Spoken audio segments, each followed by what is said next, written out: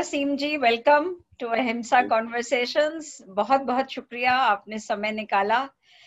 तो बचपन से आपकी पहली यादाश्त क्या होगी? अहिंसा के विचार उसके अनुभव या उसके आदर्श की? पहली तो मुझे नहीं मालूम लेकिन इतना याद है कि आ, हिंसा से मेरा परिचय बहुत बाद में हुआ।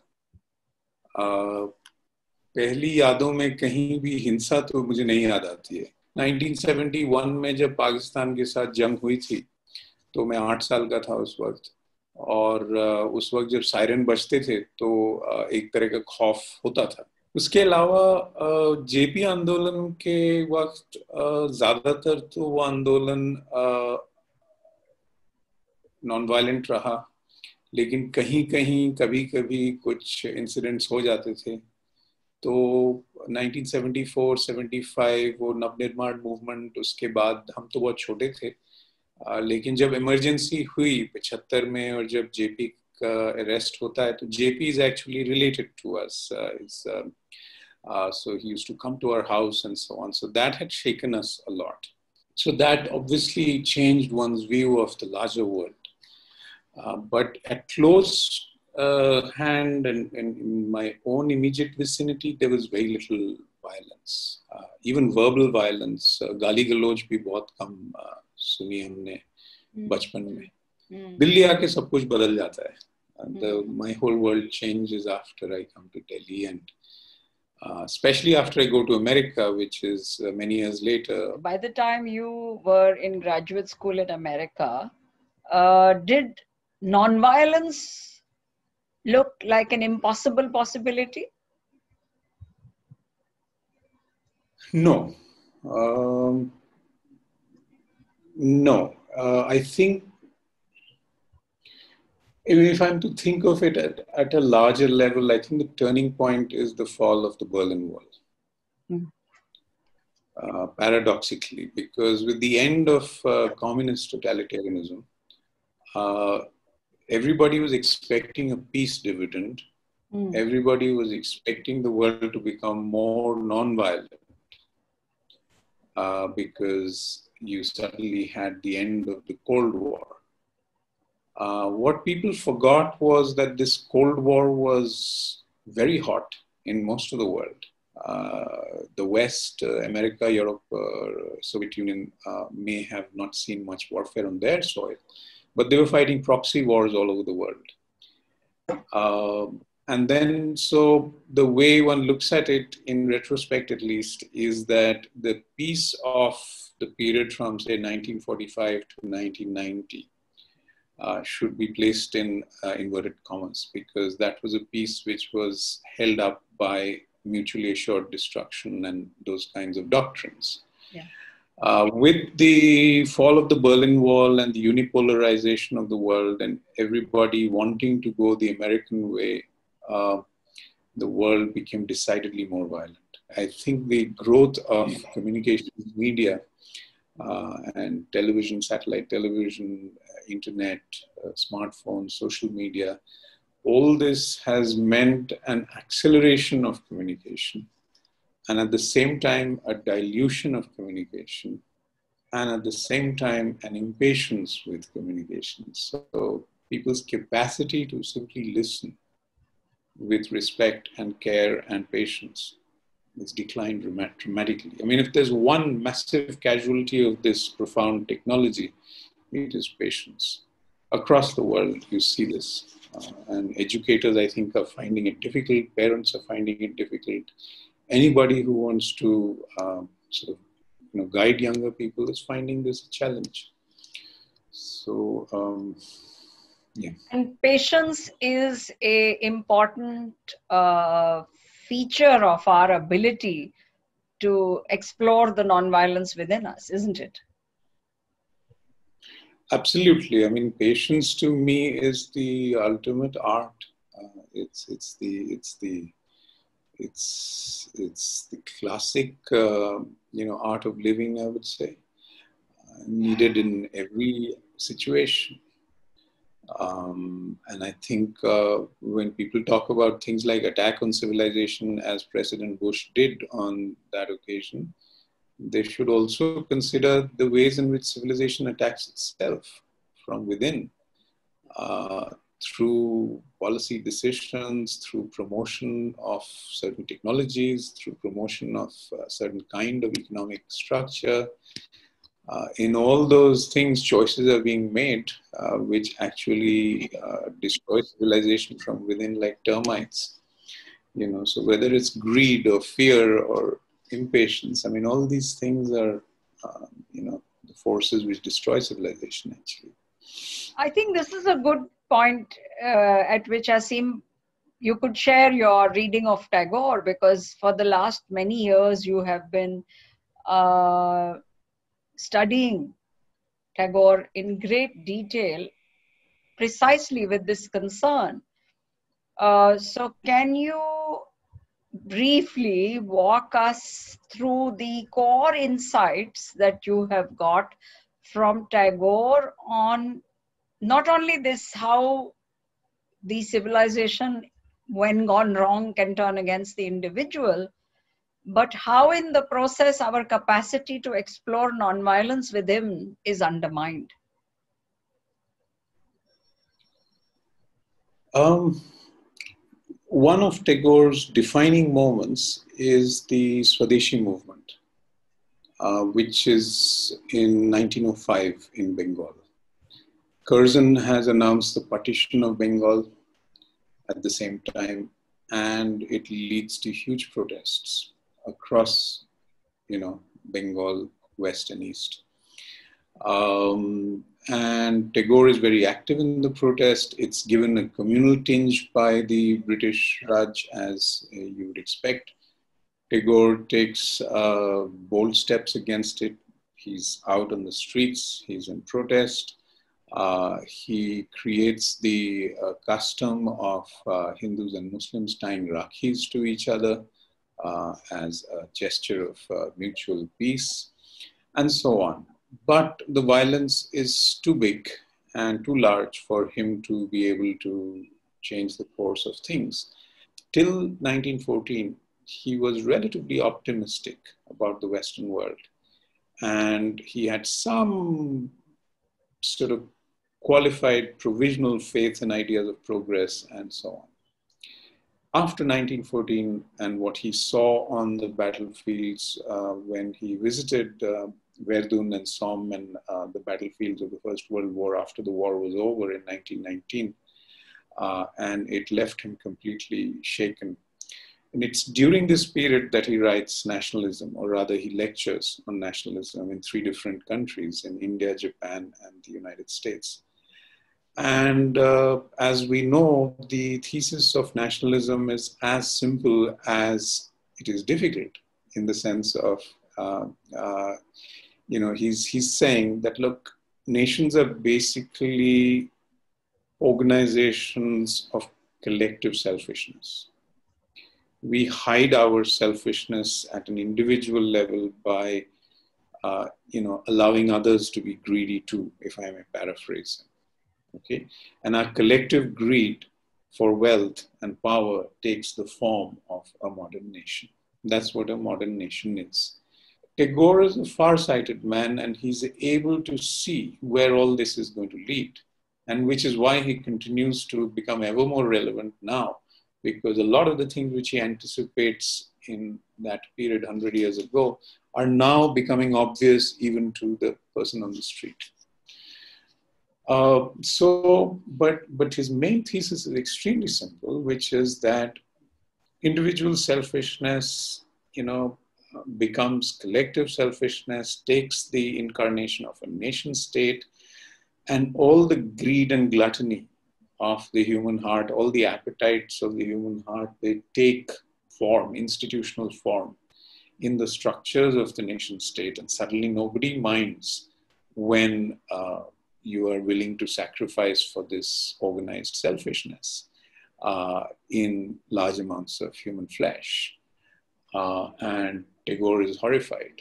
Um, so uh, there's there's a story uh, which I read about a visit that he pays to Japan. I think it's sometime around the early 1920s, and he's with C.F. Andrews, his close friend, the one who introduced him to Gandhi, and um, they visit a school, and Tagore is supposed to give a talk at that school. And what do they find? They find that in this school, little children, boys, are dressed in military uniform and, and they are doing a kind of a march past. And Tagore, uh, uh, Andrews finds it initially cute, you know, and Tagore is indignant.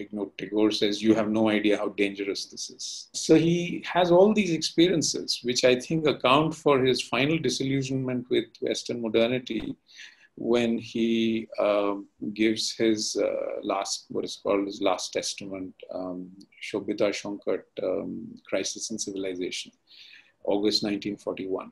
Um, so there he, uh, he expresses his feelings very honestly and he says, uh, I used to think that, um, you know, uh, the West stood for, uh, you know, liberty and freedom and the highest values of man and so on but now, uh, as I prepare to say goodbye to this world, I am, you know, in a heap of sorrow. And what is this empire going to leave in India except a vast heap of futility? Those are his words. Then. A vast heap of futility is what the empire is going to bequeath to India. He's seeing all this as he's leaving the world. This is what I marvel at in the man because despite knowing the future, he still fought for uh, what was true and, and, and right about uh, the human uh, being. And uh, he expresses the faint hope that perhaps the sun of freedom will, you know, uh, rise from the east. And, and that's how he sort of, you know, closes that, that it's a radio recording um, civilization, crisis in civilization. So you know, from a time when he used to uh, respect and almost uh, lionize the West, he was influenced heavily by the English Romantic poets and by Goethe in Germany and so on. Uh, he reaches the point of complete disillusionment with the modern West. And remember, this is before Hiroshima. And, uh, you know, if you recall, Gandhiji's only response to Hiroshima was long silence, you know. So uh, God knows what they would have thought had they, you know, lived a bit longer and seen how the world went after that. But uh, Tagore gives you the clear impression of uh, you know someone who, in our language, we'll call a drishta, somebody who could see, uh, who could see into the future because he could see into the depths.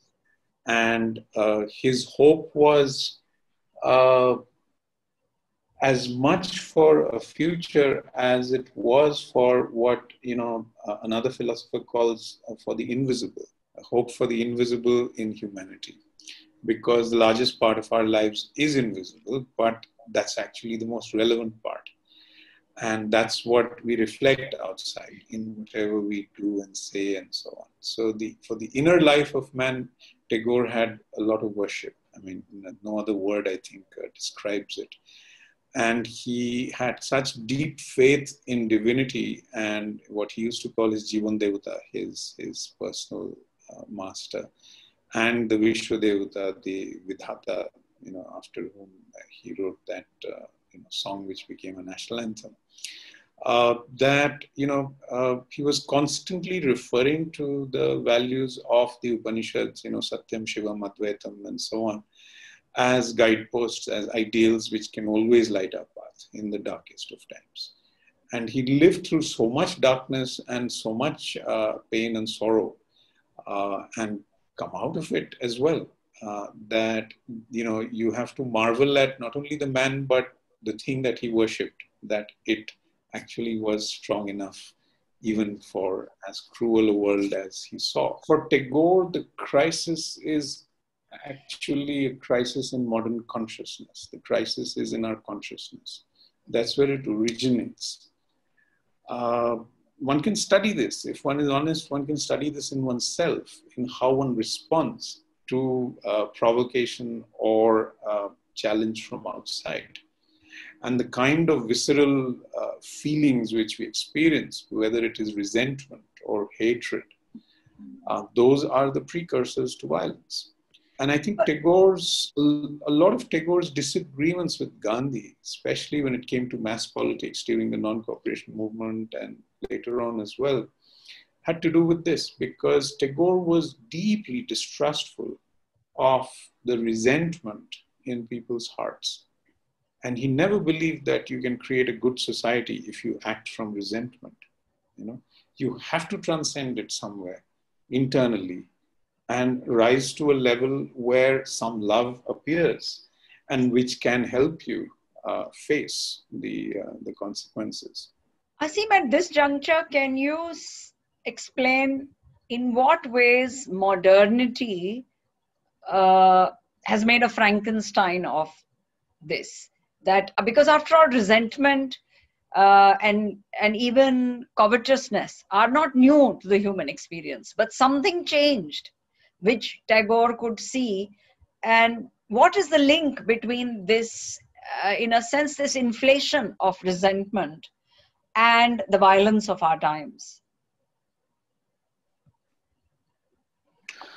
It's a big question. Um, it's completely right that the human being as such has not changed in you know 5000 years or 50000 years. Fundamentally we are the same uh, which is why i never take the thesis of progress with uh, any sense of belief.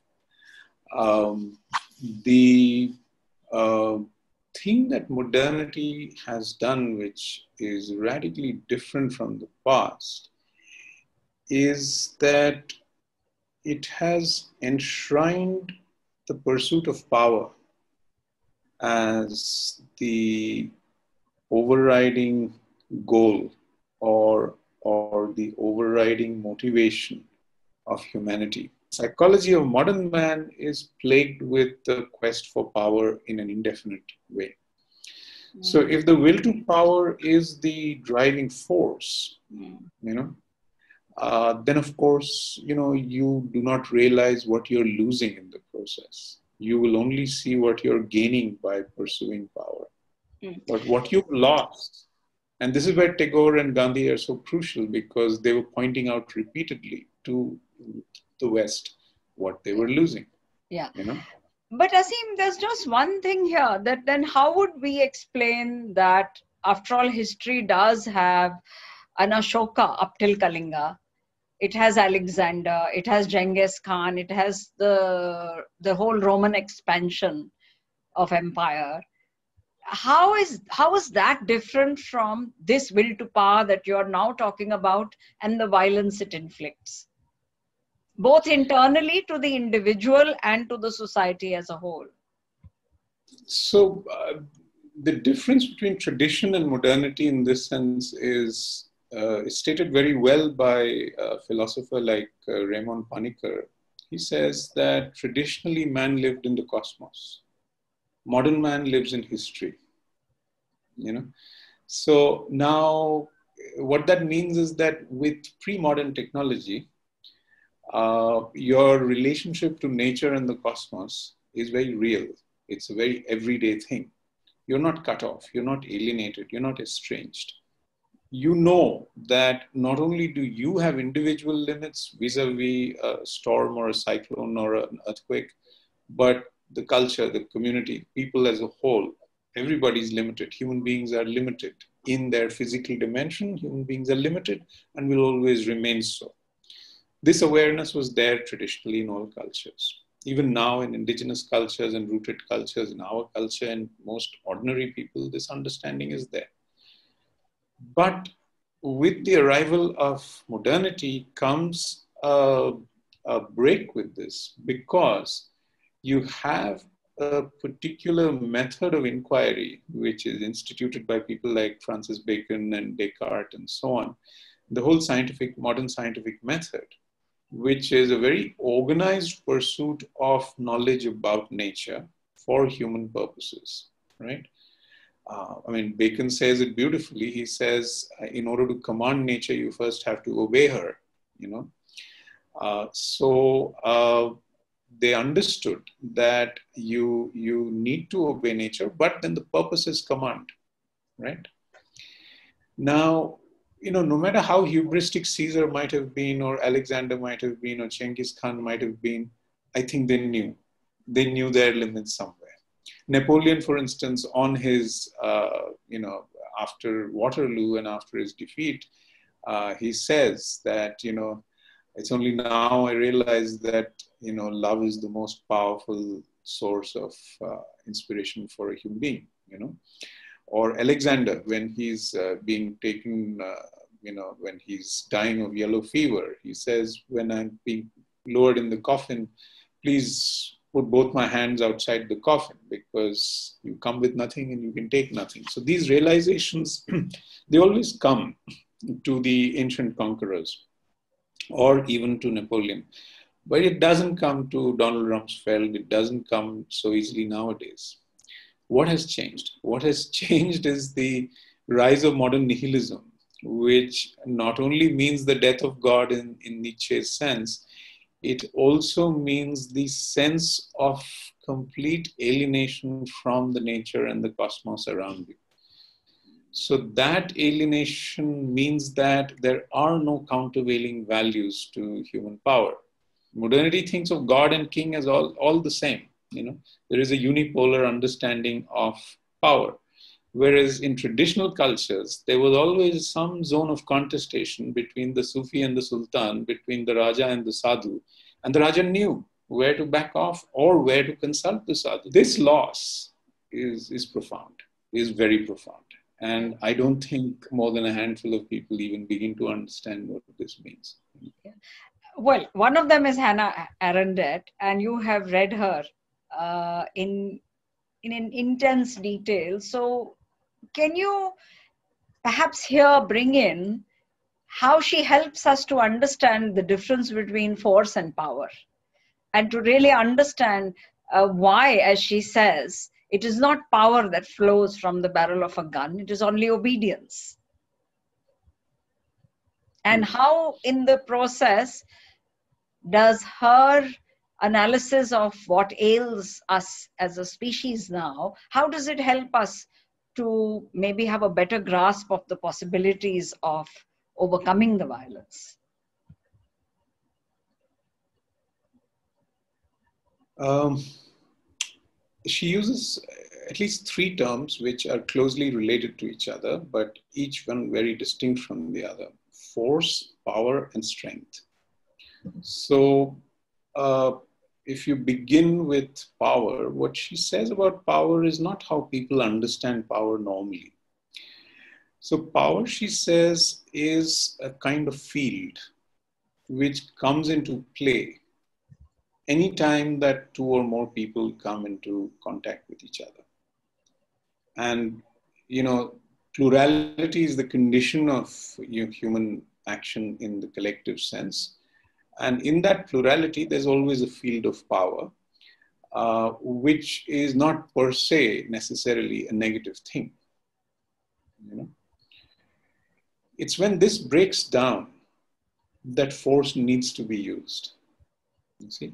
So when it's the, uh, the credibility of this field of power, which you might also call, uh, you know, uh, some sense of legitimacy, you know, uh, you know, when this sense of legitimacy breaks down and there's a crisis of legitimation for the state or for the community or for anybody, that's when we get insecure and violent. Right? So violence is always an expression of weakness. This is not something people understand because it's physically hurtful. So people think, therefore, the person must be strong. So he is being violent. And this is just what is so wrong in our understanding of violence. In violence is, sorry. No no go ahead. You finish violence, violence is what people do out of fear. Violence is what people do in order to restore power right? So force needs to be demonstrated only so that power can be restituted. If power is unchallenged force doesn't have to be used mm. right? In uh, what ways, yeah. Now, Go in ahead. what ways, Aseem, does uh, this validate Gandhiji's core insight, which came to him mostly from instinct, but also from his active practice of it in politics? This point about how violence is the weapon of weakness. Let me introduce Arendt's third term, which is strength, right? Uh, so, what is strength? Strength is the capacity to not only be alone and feel your solitude as a complete universe, but to be able to act in the world alone, in the sense of if you believe you are right, and if you believe it's truth acting through you, it does not matter whether one man opposes you or one million oppose you. You go ahead with your action. And that is the classic Gandhian quality, right? I mean, the capacity to stand for truth at the greatest risk to your physical existence. Uh, if you believe that you're right, then you, you, will face the consequences, whatever they are. It's irrelevant, secondary. So the strength aspect is what Gandhi emphasizes both in thought, word, and deed. And uh, Arendt, however, sees it in an apolitical way. Arendt looks at uh, you know strength as the quality of let's say an artist who is a dissident in the world, who isolates himself from the world in order to practice his art with integrity. Doesn't care about public accolades and approbation and uh, critical acclaim and things like that, and simply pursues his art even at risk of being ignored completely. Uh, so she sort of sequesters the strong away from the political world or the public sphere, as it were. And this is the difference between Gandhi and Arendt. For Gandhi, uh, strength is precisely the capacity to stand in the face of power and force, if need be, right? And at, at mortal risk to your body and your physical being and so on. Uh, and in that sense, I've always distinguished, and, uh, and this is what I teach students also, I've always distinguished between liberty and freedom in a way in which perhaps Arendt may not. I don't know. I haven't thought enough about her views, but my own view is that, you know, if you put someone like Gandhi in prison, you take away his liberty, you don't take away his freedom because you're not in a position to. You cannot, right? It takes more than guns to kill a man, you know, it takes more than jails to lock him up, and so on. Uh, some of the best work that human beings have produced has come out of jail because precisely uh, you can't take away people's freedom. Freedom is an ontological reality of the human condition. And human beings are cowardly and stupid and ugly when they take it away from others, because in the process, they also take it away from themselves. That's the sense in which they're stupid. The sort of things they have to do in order to do this makes the act ugly. And it's, of course, cruel in the obvious sense.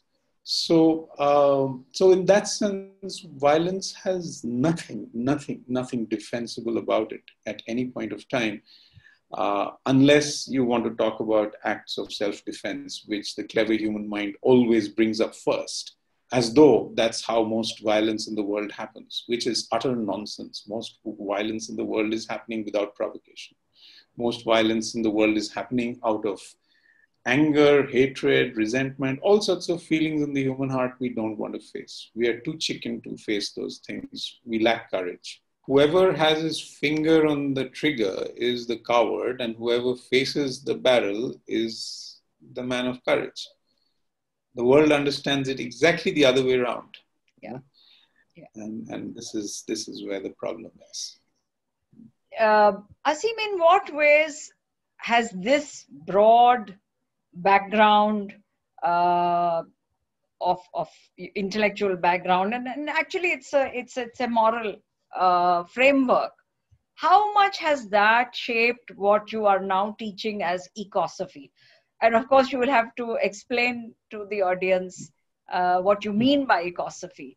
Uh, because i know that all of this together has helped shape this concept for you. Uh, so can you now tell us about ecosophy?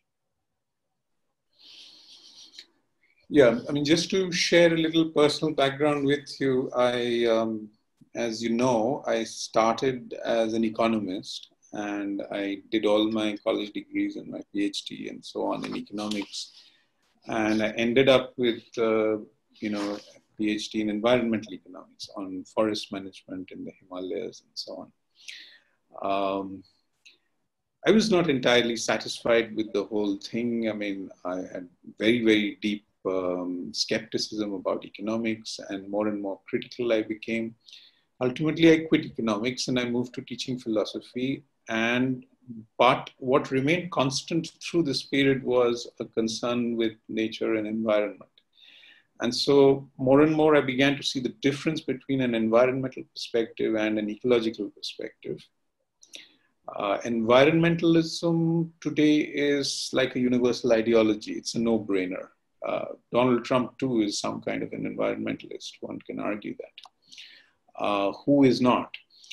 Uh, so, environmentalism is the way ruling technocracies think about our problems with the natural world and what we are facing, uh, whether it's climate change or air pollution or something else, a pandemic. Uh, ecology is a, a science uh, which is relatively holistic compared to other sciences. It's not reductionist. Uh, it looks at the interdependence of all life and so on. Uh, but it remains a science.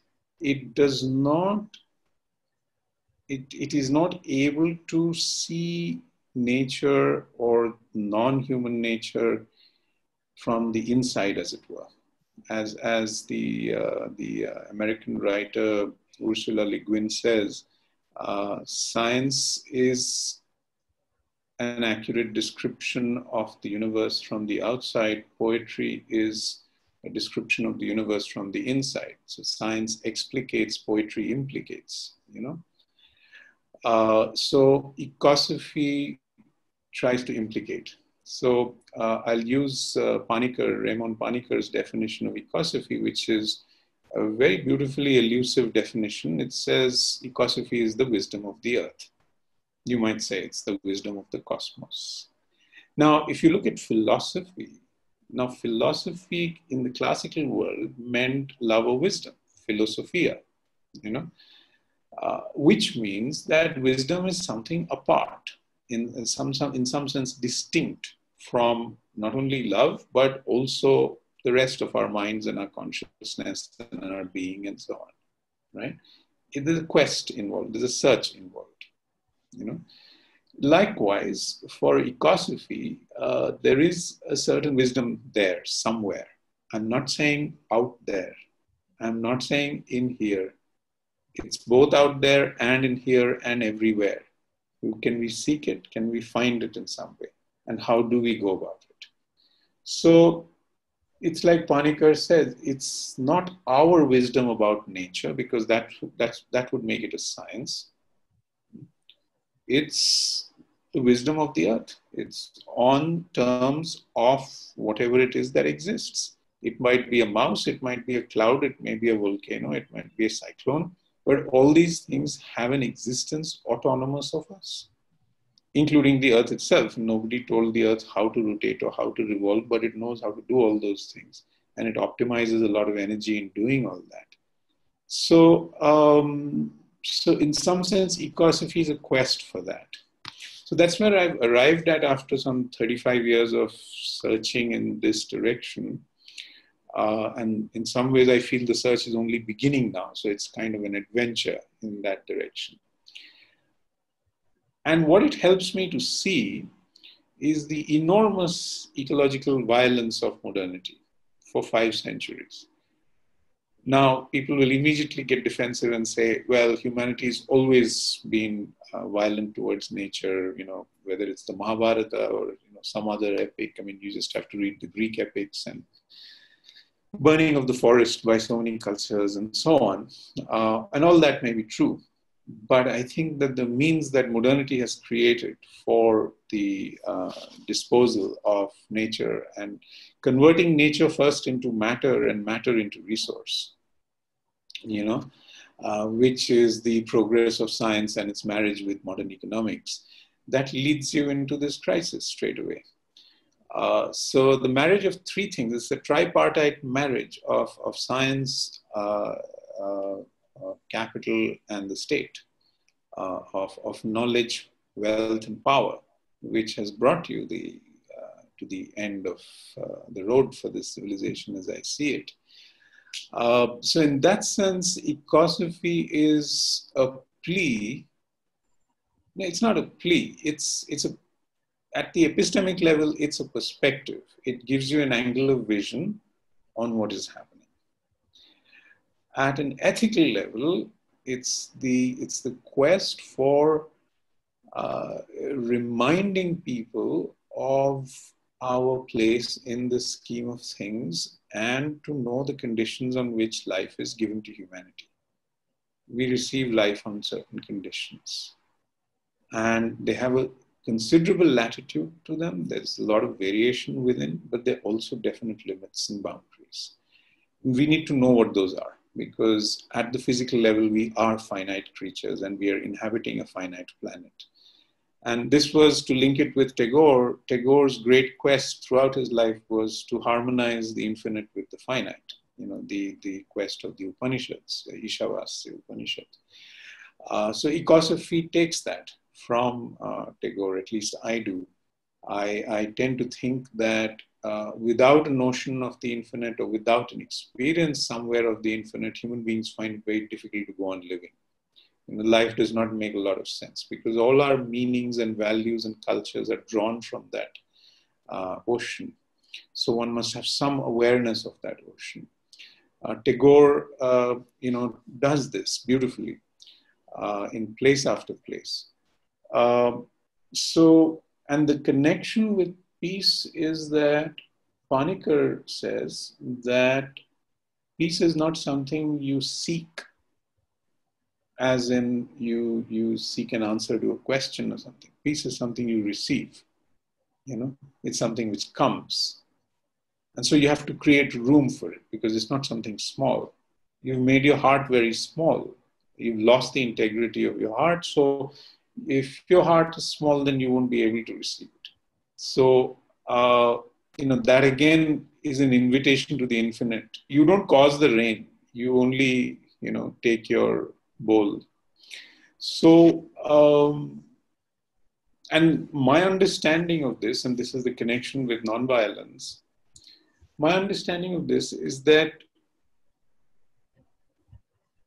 if this fullness comes from inside, if this, uh, you know, uh, gift of grace comes from within, then you stop harming the natural world.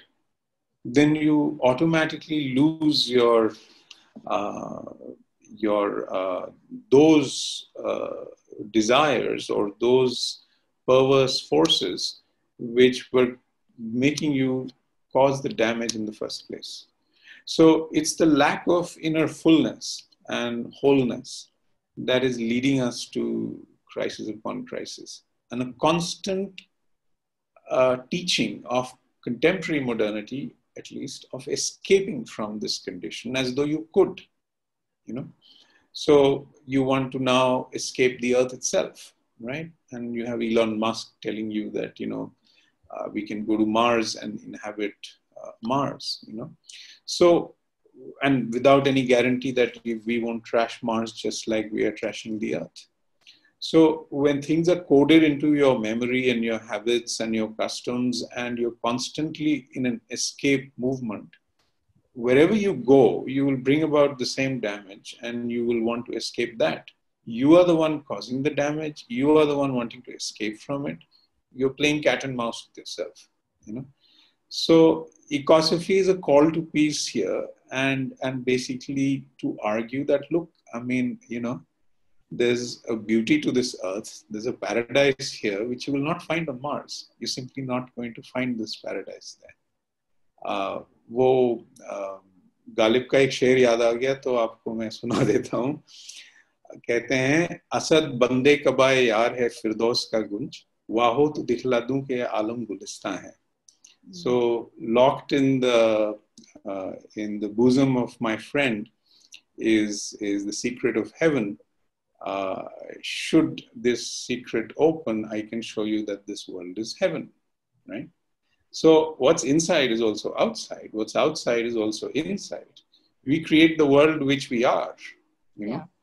So, you know, in many ways, ecosophy chimes with ahimsa because of this, Because without that ahimsa, without that inner peace, you know, you won't be able to protect uh, yourself, let alone nature. You know. Yeah. Yeah.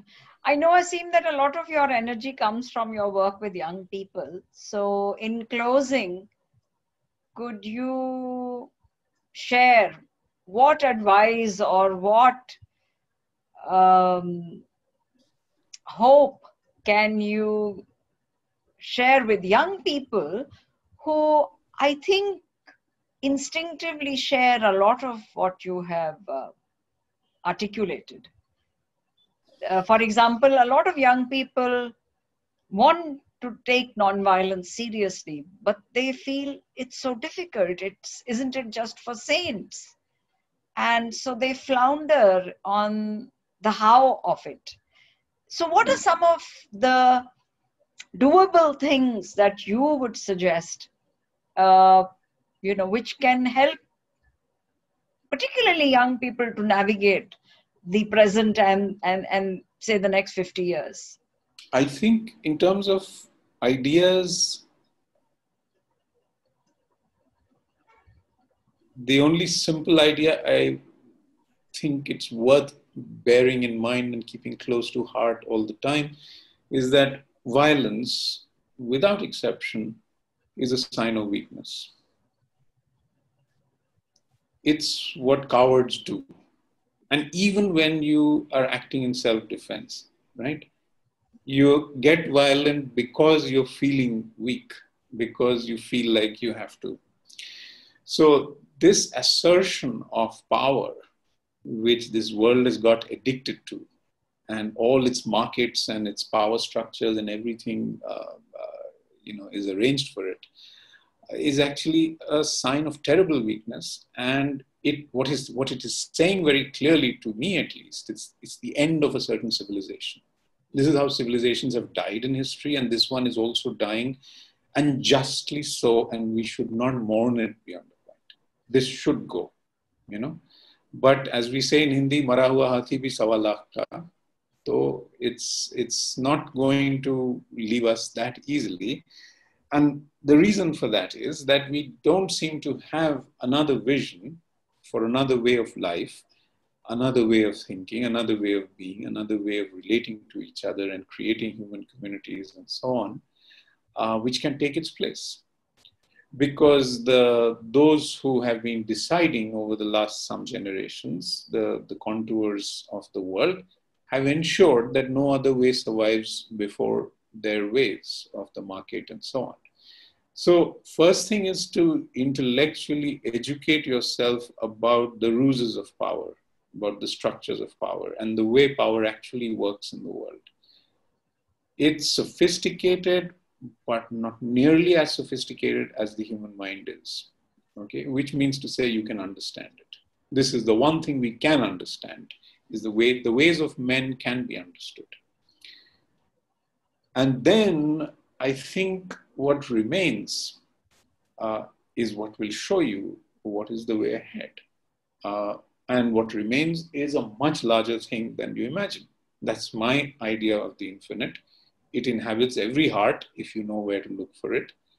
And if you draw inspiration from there, whether within your own heart or in the heart of another, then you are there. I mean, then you know what to do. And here Gandhi was a genius because he's able to see the possibilities, not the opportunities, the possibilities in every situation.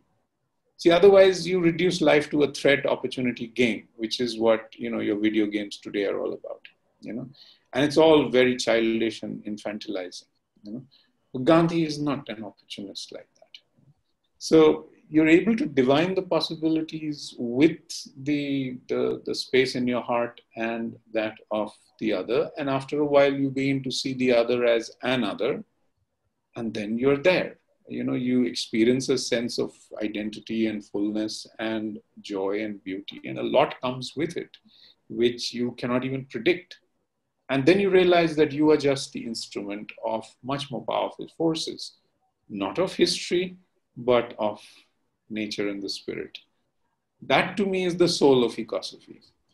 Uh, there are forces much stronger than history, but we don't know how to access them. And so, part of what we try to do in our classes, in our discussions, is to find ways to get there, is to find ways to, to access that. Is Prakritik Swaraj the Hindi for ecosophy? Uh, Prakritik dimension. No it's not another dimension. It's it's you might think of it as ecosophy in action. Uh, you might think of it as the practice of ecosophy. Ecosophy is in so many ways an experience. Uh, it's uh, it's supposed to be a spiritual experience but equally a cognitive and intellectual experience. And and everything in between which is to say the emotions are involved and so on uh, prakritik swaraj is the the, the, the same experience and ideas that come with it in action. So, what do we do with this? As in, what steps do we take? Do we plant a sapling? Do we teach small children? Do we, uh, you know, uh, uh, you know, educate uh, older people? One thing which it avoids is politics. Uh, at least any uh, ostensible politics. You can give political ascriptions and descriptions, but it doesn't like to associate with an ideology because ideologies have proved to be very divisive things in the world. And I think we can allow for infinite plurality uh, if we do ecosophy properly, then it leaves room for everyone. So everyone is necessary uh, to ecosophy in some ways without anybody becoming indispensable to it, if that makes sense. So it's a kind of a paradox. Uh, and I think that's a good attitude to live with. You know, it's, it's, it's everything has its place, everyone has their place. Um, so, I mean, I think that, you know, uh, for young people, I think the, the, I would say that the adventure ahead is that, you know, uh, you have to create a whole world you know, because this world is uh, is a done deal, you know, uh, and uh, renew our relationship to the natural world and the earth and the cosmos, and the beauty of the darkness and the stars in the sky, and uh, the glory of the morning. All that uh, I think can be looked forward to uh, and so if you have the power and uh, you know uh, you have control over the steps in your life early on you can shape your life in such a way that it moves in that direction over a period of time. And for that you need to work with a group of people not just alone because otherwise you will not succeed in being able to solve larger problems individually. You have to solve them collectively. Thank you so much